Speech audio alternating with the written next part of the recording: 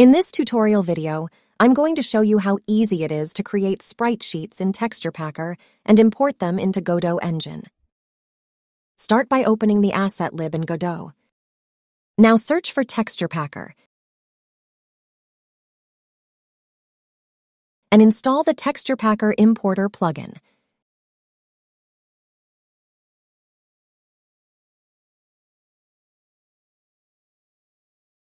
Activate the plugin in your project settings.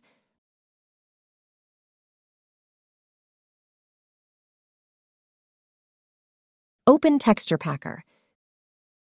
Click on Choose Data Format and select Godot Sprite Sheet from the list. Drag and drop your sprites folder onto TexturePacker. You can select sprites in the left sidebar to preview animations on your sheet. Enter spritesheet.tpsheet as file name and save the sprite sheet somewhere in your Godot project folder. Press Publish Sprite Sheet to create the sprite sheet and data file. Switch back to Godot.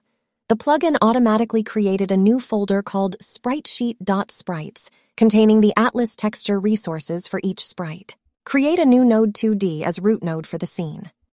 Drag and drop an Atlas texture onto the scene to create a sprite.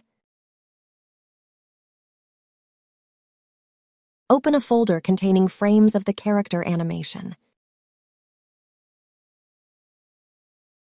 Create an animated sprite node. Select New Sprite Frames and click again and select Edit from the drop-down menu. Drag and drop the sprites in the correct order onto the Sprite Frames panel.